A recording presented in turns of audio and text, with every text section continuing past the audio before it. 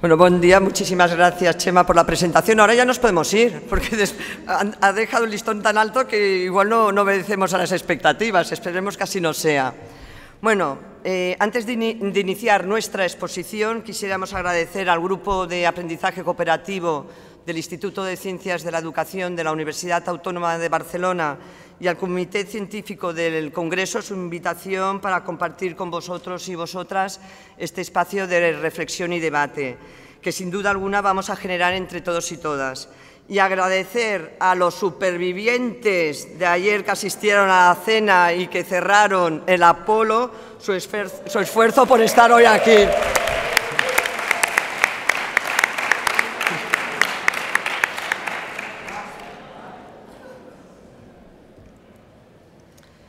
La presente ponencia versa sobre el derecho de una educación inclusiva sin límites por características personales tanto en las sesiones de educación física en horario escolar como en las actividades físico-deportivas fuera del horario escolar, donde vamos a insistir que todos los participantes tienen cabida. En un inicio vamos a ofrecer un marco de reflexión sobre cómo la inclusión plena y sin excepción resulta esencial para la transformación del sistema educativo y de la sociedad. Posteriormente vamos a sintetizar una, experiencia pionera en inclusión de alumnado con pluridiscapacidad en el área de educación física fuera del horario lectivo, que es el denominado programa Juguem, programa Juguemos, centrado en la iniciación deportiva mediante el aprendizaje cooperativo y la estimulación sensorial. Y demostraremos que una vez eliminados las principales barreras para el aprendizaje y la participación, la inclusión no tiene que discriminar según el nivel de, discapacidad del alumnado, como sigue ocurriendo todavía en nuestro país. La primera premisa de la cual partimos es que si nos referimos a una escuela donde todos y todas tienen cabida sin excepciones, sin excepciones tenemos que dejar de lado las habituales divisiones entre la escuela ordinaria y la escuela especial. Los que apostamos por la escuela inclusiva estamos en contra de la escolarización segregada, que priva la posibilidad de contacto de los alumnos con discapacidad con, sus iguales de edad. En consecuencia, las escuelas de educación especial deben convertirse en centros de recursos que colaboren con los centros educativos ordinarios, trabajando colaborativamente el especialista en educación especial con el maestro tutor. Segunda premisa es considerar que la inclusión no es una técnica ni es un método, sino que es una manera de concebir la escuela y el derecho de todos y todas a la educación, compartiendo la misma escuela y aulas. Tiene que ver con el vivir juntos, con el compartir el proceso de enseñanza-aprendizaje, pero sin segregación alguna, como ocurre en, las aulas de educación especial en la actualidad. De este modo, la escuela es un escenario insistimos, donde todos y todas tienen cabida, indistintamente de sus características, dificultades y ritmos en su proceso de aprendizaje. Por lo que cualquier alumno tendría que ser educable en un entorno ordinario, respondiendo a las necesidades educativas de todos y todas sin discriminación de ningún tipo. Nos estamos refiriendo a la escuela inclusiva, asociada a una educación de calidad sin excepciones y una filosofía que contempla la escuela como motor de cambio social y de actitudes, basada en la igualdad y en la democracia, donde la, diversidad se convierte un valor en alza, que tiene que cohesionar al grupo, que ofrece mayores posibilidades de aprendizaje, como vamos a evidenciar posteriormente con la aplicación del programa UEM. Pasamos a la tercera premisa, cuando consideramos que la escuela del siglo XXI debe ser un instrumento de transformación social, propiciando las acciones educativas con el, fin de eliminar las desigualdades sociales, es, es decir, a dejar las cosas como están y, por tanto, favorecer la exclusión social.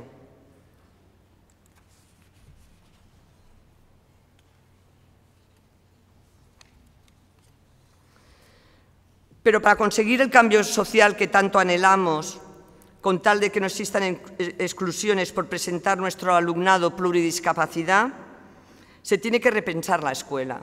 Y, creo que, y creemos que todos estamos de acuerdo.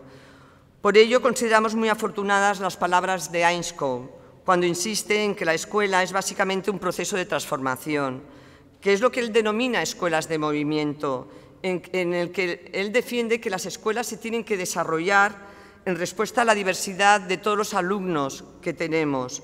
Tanto se tienen que desarrollar en prácticas educativas, en la organización de los centros, como en la cultura colaborativa del profesorado. Slee eh, insiste en este sentido de que deben de darse los cambios fundamentales en el pensamiento educativo sobre el alumnado, el currículo, la pedagogía y también la organización escolar. Para ello precisa, coincidiendo con ISCO, que deben haber cambios decisivos en la profesión docente, en los modelos de enseñanza-aprendizaje y en las prácticas de escolarización. Y el autor considera que la reforma escolar tiene que ser una precondición para una escolarización más inclusiva en el futuro. Y coincidiendo además con Mara Sapon, no olvidemos que se tiene que transformar tanto el sistema educativo como la sociedad por lo que se requieren de los cambios fundamentales de pensamiento y de políticas que trascienden la misma educación. Por tanto, la Administración debería de apostar y aportar los recursos económicos y humanos que hagan realidad la eliminación de las barreras para la participación y el aprendizaje, que condicionan el proceso inclusivo del alumnado con discapacidad y pluridiscapacidad en nuestro país, que está resuelto, no lo vamos a negar, a nivel teórico, pero no práctico. Una vez ya situado el, paradigma ideológico del cual partimos, vamos a centrarnos en la aplicación y desarrollo del, programa Yugem por su carácter pionero. Este programa se generó en el seno del, del, Grupo de Estudio de Educación Física y la Inclusión del Alumnado con Discapacidad del Instituto de Ciencias de la Educación de la Universidad de Barcelona. Se vinculó al Instituto Barcelona Sports, el IBE, del Ayuntamiento de Barcelona para que lo acogiera como una de sus acciones en el marco del programa Barcelona la Sport Inclou, Barcelona el deporte incluye. Y se consiguió la complicidad, además de diversas entidades locales, como es la, como es la Escuela Llorers, que es donde se, donde se desarrolla el programa, el AMPA de la misma, eh, el Paraguas, que es la Asociación Esportiva de l'Eixample, además la Asociación y Fundación de Parálisis Cerebral ASPACE, y la Asociación Esportiva Llocviu. Para empezar, es interesante subrayar que el resultado eh, del programa Yuguem procede a un resultado de un trabajo comunitario y colaborativo que se generó bajo la motivación coincidente de todos los miembros del grupo de estudio del ICE que he comentado antes de la Universidad de Barcelona en investigar las estrategias más adecuadas para facilitar la inclusión del alumnado con pluridiscapacidad y demostrar sobre todo su viabilidad, con el objeto de que proliferen este tipo de prácticas inclusivas sin discriminaciones, que se replique la experiencia. No tan solo hemos demostrado que funciona en horario extraescolar, sino que se puede transferir en horario escolar. Fueron dos años de reflexión y debate muy duros entre todos los miembros del grupo de trabajo, que aquí no sale en la foto porque en la foto incluso falta algún eh, componente, éramos los que participábamos semanalmente en el seguimiento del programa, pero que están aquí igual me olvido alguno de vosotros, un Joan Toy, un Cisco Inglada, un Chema Córdoba, un Carlas Yepes, un Antonio Blanco, un Chema García, un Tony Bogas, y disculparme si me olvido de alguno de vosotros que no, es, no os he localizado con la vista. Pero fueron dos años de reflexión, si era viable o no era viable lo que nos planteábamos sobre las estrategias para facilitar la inclusión del alumnado con, con pluridiscapacidad cuando ya todos estábamos convencidos, ya habíamos reflexionado sobre su viabilidad, entonces lo pusimos en práctica. Se inició en octubre del, 2015, los miércoles por la tarde, que durante una hora y media se ha ido desarrollando la sesión, y en las que participan dos alumnos con pluridiscapacidad de ASPACE. Se cuenta con un maestro experto en aprendizaje cooperativo y con experiencia en inclusión, Raúl Romero, a mi izquierda, con una asesora especialista de alumnado con pluridiscapacidad y estimulación sensorial, a mi derecha Tate Bonain, y, una fisioterapeuta también especialista en alumnado con pluridiscapacidad que participaba en calidad de profesor de apoyo, que es Patricia Burgos, que la tenemos en primera fila, y que procedía por parte de, de Aspace. Y el resto de compañeros y compañeras que asistimos a la, sesión colaborábamos tanto en la toma de decisiones respecto al diseño de la sesión y a las adaptaciones que planteaba Raúl y actuábamos como observadores de, la sesión. Los niños ya estaban muy habituados, pasábamos súper desapercibidos para los niños y niñas. Tras la sesión, el grupo de trabajo nos reuníamos durante, y nos reunimos durante una hora y media y ponemos en juicio eh, y debate lo acontecido. En un sentido metafórico, ayer cuando estábamos valorando la continuidad del programa, como os comentará Raúl, y lo más importante, que ampliamos el programa con, además, con otro grupo, porque nosotros vamos al, filo de la navaja con, autismo y, conductas en riesgo de, de exclusión, hay conductas disruptivas, un miembro del grupo de estudio me comentó ayer, en el sentido metafórico, dice, Yugen me ha hecho mucho daño. Y digo, pero por favor, Gemma, ¿cómo me puedes decir que, te ha hecho tanto daño? Dice, sí, me ha hecho mucho daño. Dice, porque he aprendido que no puedo trabajar sola. De ahí de la importancia del trabajo colaborativo. En cuanto a la metodología seguida de... ¡Ay! No, me ha avanzado. Ah.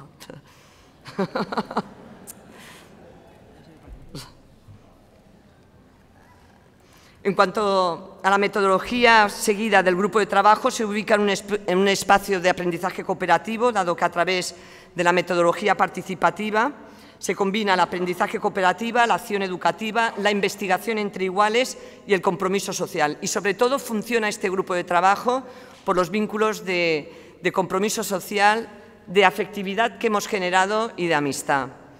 Tanto el diario de campo comunitario y el diario de campo del profesor, en este caso Raúl, se convierten en elementos de evaluación continua, consiguiendo una práctica docente de calidad y una comprensión de todo lo que acontece en el escenario educativo, mediante una combinación de reflexión sistemática y de innovación didáctica.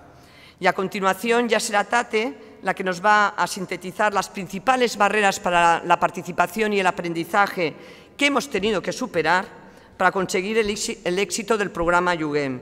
Y posteriormente, Raúl Romero nos va a situar en las estrategias didácticas inclusivas y en la valoración del programa. Y ahora es el momento de pasar el relevo a mi compañera y amiga Tate. Hola.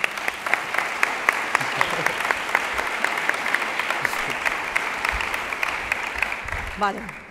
Sí, sí. Bon dia a tothom i em toca parlar de les barreres de, eh, las barreras de comunicación. Barreras, bueno, de comunicación también hubieron, ¿eh? en relación a los alumnos que hay, a ver, es que hay una parte de barreras de comunicación que tuvimos que también que, que superar. ¿vale? Eh, programa Juguem y las barreras que nos llevaron a la participación no solo para hablar de las barreras que tuvimos, que encontramos previamente, porque estas ya las iremos uh, superando, ¿vale? A medida que vamos hablando veréis las barreras que tuvimos que suplir para poder llevar a cabo el, proyecto, ¿vale? Teníamos presente que el proyecto estaba lleno de diversidad, eh, toda la sociedad es plural, y abierta, acogedora y no menos tenía que ser el, programa Juguem, en el que había niños y niñas de distintas edades, eh, con capacidades diversas, capacidades motrices, cognitivas, intelectuales, diversidad funcional. Por tanto, era un grupo ah, lleno de diversidad y en el que en la escuela seguramente nos encontramos en, en la práctica diaria. ¿vale? Pienso que todos diríamos que sí, si nos dicen que la igualdad es un derecho, pero lo importante pienso que es convertirla en un hecho. La teoría nos la sabemos todos, que todo el mundo tiene derecho a participar de manera inclusiva, pero realmente lo difícil y, problemático a veces nos encontramos es la dificultad de convertir este derecho de igualdad en, un hecho. En el programa Juguem queríamos dar esta salida, ver que realmente mm, se podía llevar a cabo un proyecto con inclusión y con, con que todos pudieran participar. ¿vale? Igualdad de oportunidades es otra de las barreras a nivel de teoría. Todo el mundo sabemos la igualdad de oportunidades. Tenemos derecho a dar oportunidad todos, a todos los chicos y chicas que participan, a todos los niños y niñas de la escuela. Pero a veces cuando hay una silla por en medio, cuando hay una dificultad de lenguaje, cuando hay una dificultad de comportamiento, cuando no sabemos qué nos quiere decir, cuando hay dificultades que se pueden expresar, todo esto nos lleva a que esa igualdad de entrada mm, nos cuestiona o nos plantea dudas o dificultades. ¿vale? Diversidad, desigualdad. Mm, yo pienso que el programa Juguem, uno de los de los puntos súper positivos que ha tenido es que es un derecho a la diversión. Evidentemente, a partir del aprendizaje cooperativo, de la práctica de actividad física, de práctica de movimiento, de participar en actividades deportivas y predeportivas, pero básicamente es un programa en el que, a partir de la actividad física, lo importante es divertirse, participar, sentirse en un grupo, eh, conocer a los compañeros y, y que sea todo un mismo conjunto. ¿vale?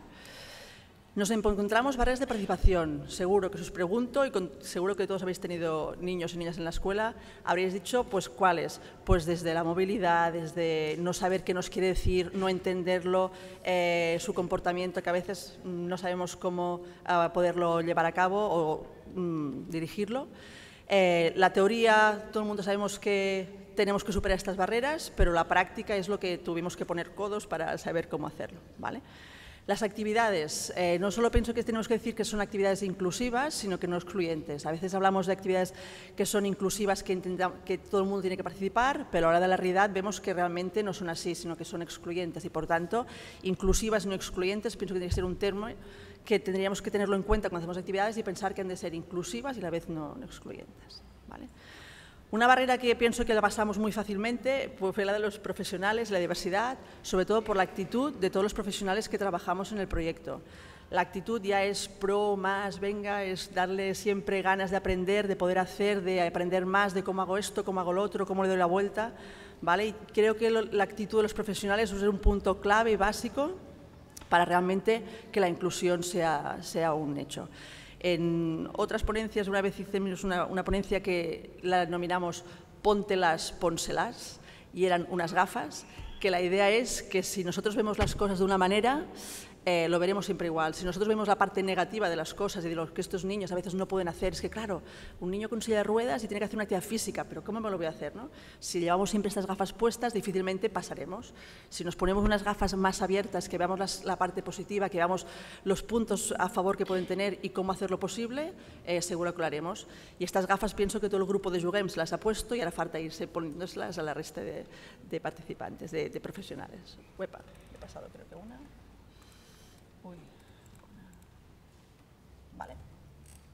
La participación en actividades inclusivas yo pienso que es otro reto. Es la participación real, participan todos y todas, solo participan los chicos y de vez en cuando el alumno que tenemos en inclusión participa en un momento concreto de la actividad y el reto y la barrera que hemos superado pienso que la participación es real. Todos los niños y niñas participan en la actividad, cada uno seguro que no todos somos mm, saltadores de altura y cuando nos toca saltar, pues cada uno hace su manera, ¿no? Pues igualmente la participación, cada uno en el momento aportará la suya, pero realmente la participación ha sido real por parte de todos y todas. ¿Cuáles han sido las estrategias, los apoyos que hemos ido venciendo estas barreras? Pues estrategias básicamente eh, con alumnado, con inclusión, y hace mucho tiempo que lo voy diciendo y compartimos con todo el grupo, es el aprendizaje cooperativo. Sin él es muy difícil llevar a cabo actividades eh, a nivel de inclusión y más cuando hay niños con pluridiscapacidad como ha sido esta vez y cualquier otra dificultad que pueda haber en el grupo. ¿Vale? Y los apoyos, pues realizarlos siempre. Ya veréis luego cuando Raúl os habla de la experiencia que en principio los apoyos fueron muchos, mm, porque incluso nosotros cuando hacemos la actividad no estás convencido las cosas, no estás seguro, intentas dar mucho apoyo, pero lo ideal es ir retirando este apoyo para ver realmente que el grupo puede ir funcionando cada vez más solo. La metodología, ya os lo acabo de decir, cuál y por qué, ¿no? el aprendizaje cooperativo y por qué pues la manera entre todos poder participar, poder conocerlo todos, ayudarnos unos a otros, dar las máximas posibilidades entre unos y otros. ¿vale?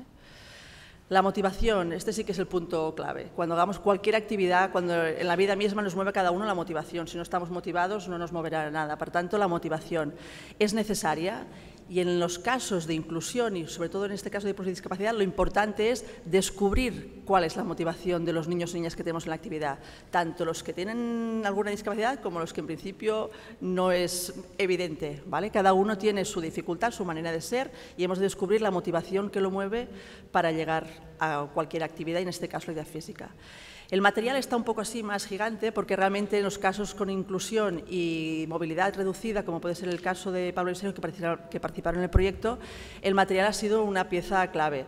Eh, sin el material quizá las cosas hubieran sido un poco distintas, pero en este caso tuvimos la suerte de que la susproducción la Champla pudo ser todo el material habido por haber, desde Yopiu pudimos dar las, directrices para poder hacerlo y el material yo pienso que es una pieza clave para poder hacer la actividad de manera inclusiva.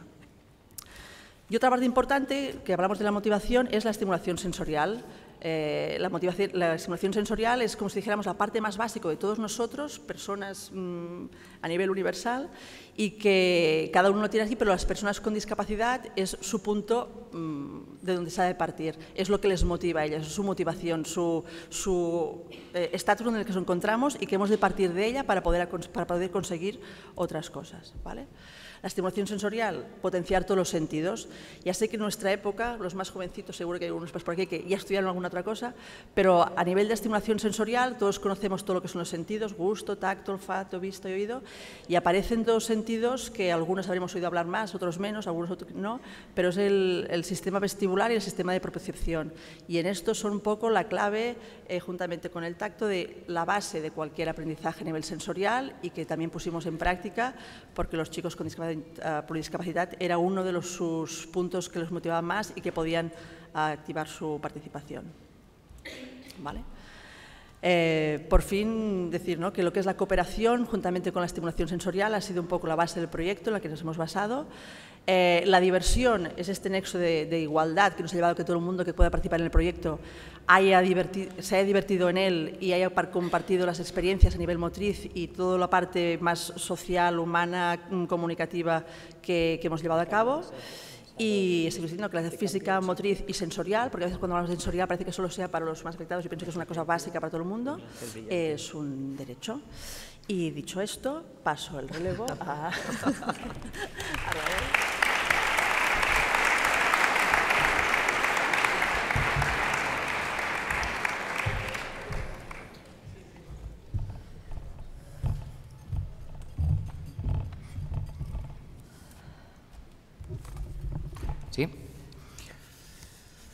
Bueno, eh, qué bonito, qué bonito, ¿no? Eh, este momento es muy esperado por todos nosotros y simplemente, si lo tuviera que resumir en una, en una frase, sería que, que, las cosas que salen del corazón de las buenas personas suelen salir muy bien, ¿no? Y en este caso, pues somos buena gente y tenemos buen corazón, las cosas tienen que salir bien, ¿no? Evidentemente, esto es la conclusión, pero partíamos de, de un, un problema, un reto, ¿no? Muy, muy elevado, muy extremo en este caso, ¿no? porque teníamos la presencia de dos alumnos con pluridiscapacidad, Pablo y Sergio, junto con un grupo ordinario. La situación de partida pues era el origen principalmente, ¿no? porque Pablo y Sergio eh, estudian, están en Aspace, que es un centro de educación especial, y los otros niños pues están en la escuela pública Llurés. Añadido, había más niños que venían de otros colegios. Es una situación particular, muy heterogénea, que hay que tener en cuenta. Por otro lado, la edad de los participantes. Aún estando en la misma escuela, había alumnos de quinto curso y también algunas participantes de segundo. Entonces, eso también era un hándicap a tener en cuenta en, en la situación inicial del proyecto. Y añadido, aún teniendo algunos la misma edad biológica, pues estaban en un momento evolutivo motriz diferente.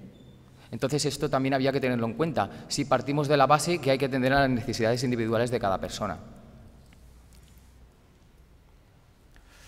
Por lo tanto, y haciendo referencia, debía de hacerlo en este congreso, al gran Pera Puyolás, pues hay que tener en cuenta tres variables para que las aulas eh, fueran inclusivas. En primer lugar, la enseñanza personalizada, como he dicho atender a la diversidad real de cada, de cada persona. Por otro lado, eh, potenciar el aprendizaje autónomo de los alumnos. Y todo esto englobado en una estructura cooperativa. Esto es la clave de la inclusión. Ahora había que demostrarlo. En el primer punto, la enseñanza personalizada, pues teníamos dos extremos, dos extremos a nivel de desarrollo motriz, ¿no? Como he dicho, primero, Pablo y Sergio estaban en la fase eh, inicial de todo proceso evolutivo humano, que son el proceso vestibular, el proceso eh, propioceptivo y el sensorial. ¿no? Están en la base, como cualquier persona cuando nace, pues ellos eh, están este, en este nivel. ¿no? El movimiento vestibular se puede potenciar a partir de movimientos inducidos, ¿no? realizados por otra persona, debido a su, a su discapacidad. El movimiento propioceptivo, de prensión, y el movimiento táctil, Esa es su forma de hacer, entre comillas, educación física. ¿no? Por otro lado, tenemos alumnos que están en un estadio del desarrollo motor más elevado, por circunstancias. Y deben de potenciar, según la edad que tengan, 10, 11, 12 años, las eh, capacidades propias de las capacidades condicionales, habilidades coordinativas, etc. Tenemos dos manos que se quieren coger. Hay que potenciar el aprendizaje autónomo. Según Pera Puyolás y según eh, las tendencias pedagógicas en las que hemos debatido estos días, hay que empoderar al alumno, hacerlo responsable de su propio aprendizaje, perdón, y del de los demás. De esta manera, el profesor está más liberado cuando hay alumnos que hay que reconocerlo necesitan más atención. Pablo y Sergio en este, en este caso necesitaban una atención más, más individualizada. Por lo tanto, eh, mientras más alumnos autónomos y capaces de gestionarse ellos mismos tengamos en la sesión, más posibilidad hay de colaborar. ¿De acuerdo?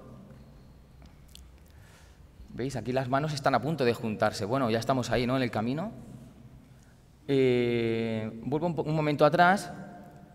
Esta estructura de aprendizaje se puede conseguir perfectamente de manera individual.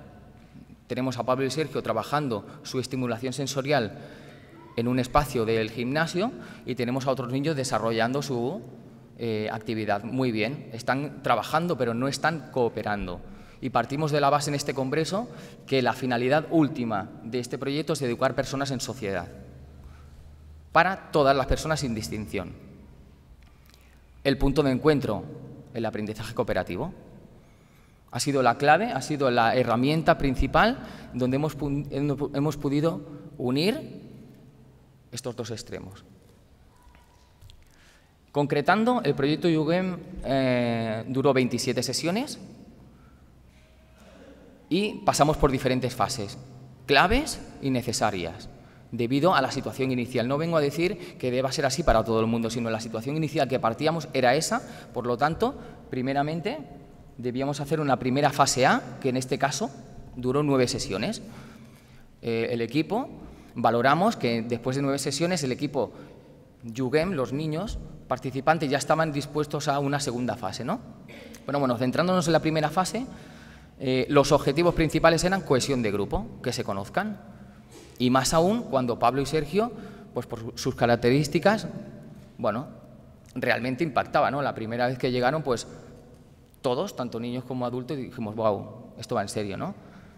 Eh, bueno, en este, en este momento, actividades de éxito seguro, fáciles, de normas fáciles, paracaídas. El profesor dinamiza la actividad, está controlando en todo momento todo lo que pasa. La gestión de conflictos emocional, eh, muchas asambleas.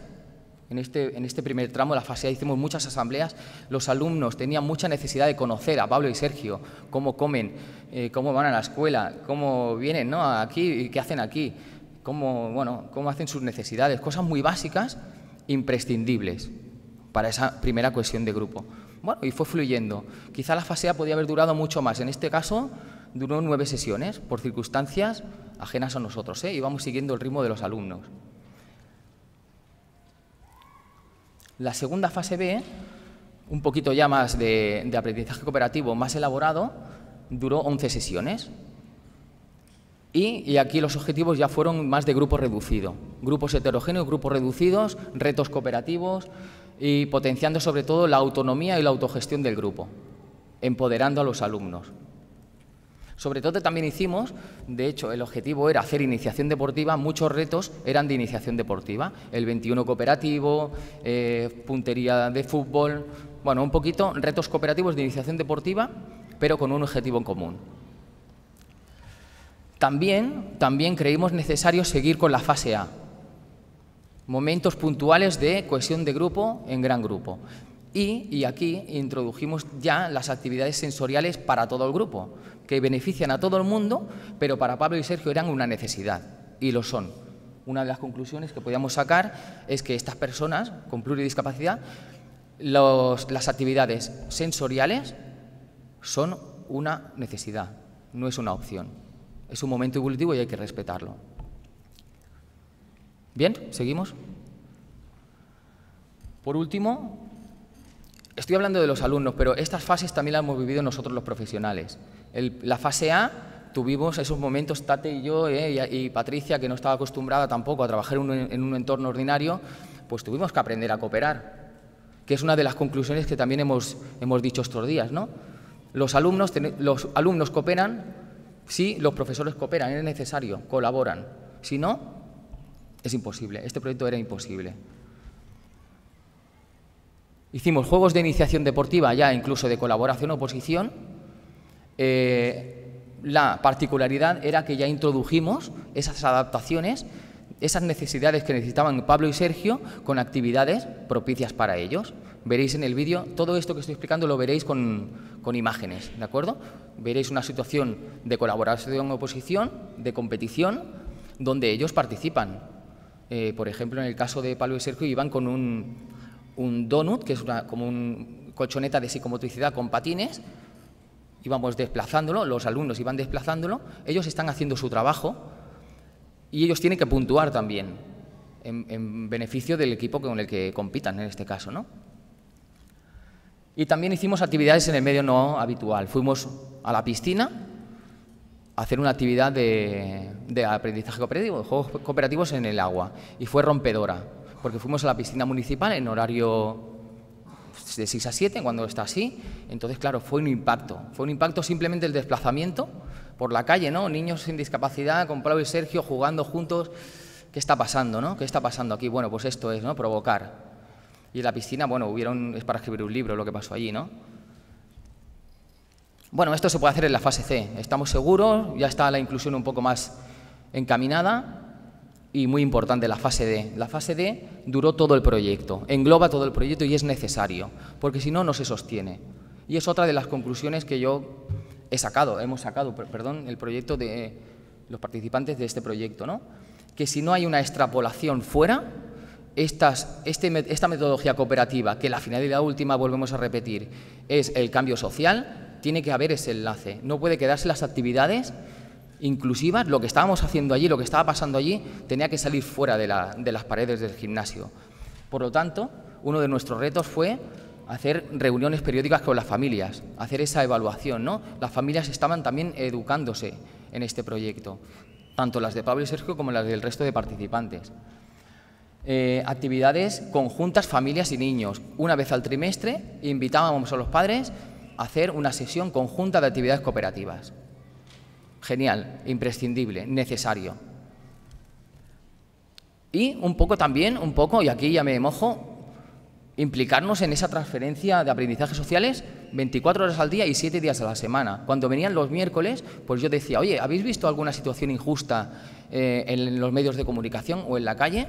y se generó un debate muy productivo que incluso se plantearon ellos eh, en la, por qué en la escuela Llores no había personas con pluridiscapacidad y se generó ese debate en el aula. Voló. Y también, eh, perdón, bueno, me he ido. Bueno, como valoración del proyecto, eh, bueno, tres, tres ideas principales, ¿no? Si algo tiene que quedar claro es que la inclusión no solo es justa y necesaria, sino que también es posible, está demostrado. Segunda, que el aprendizaje cooperativo para todos, los alumnos y los colaboradores, es la herramienta inclusiva por excelencia, no hay más. No hay más. Es la única manera de unir diferentes tareas, diferentes multiniveles. Y por último, eh, es un acto de amor, simplemente. Es un acto de amor. Hay que desvestirse. Creemos que hay que desnudarse delante de la inclusión de las injusticias sociales. Hay que desnudarse en prejuicios y hay que afrontar los miedos, como ayer decía Víctor López. Creo que es imprescindible, necesario. Si no, creo que quien no pase por este proceso quizá no sea el profesional que la educación necesite. Hasta aquí llegamos. Eh, hay que afrontar estos miedos un poco la metáfora sería como cuando afrontas el primer beso, ¿no? Bueno, hay que lanzarse. Y ahora haré una metáfora, voy a leer una poesía mía también en momentos de reflexión profunda eh, y de reeducación personal y profesional que todos estos planteamientos llevan. Eh, os leeré una poesía que hice Y cuando me refiero a labios, me refiero a los labios de la inclusión. Se llama Bendita Utopía.